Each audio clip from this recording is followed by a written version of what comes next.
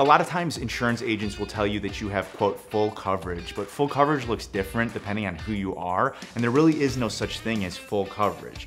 What you really need to do is you need to be thinking about every possibility that could happen to you on the road and whether or not you would have enough money.